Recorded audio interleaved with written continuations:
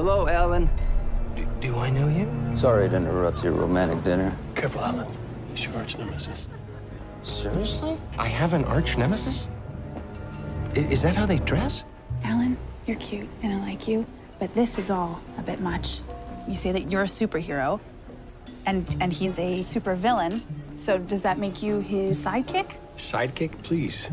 I'm the mentor. And I'm his date, or at least I was. I'm sorry. This is just weird. And she thinks I'm crazy. Thank you so much. This is all your fault.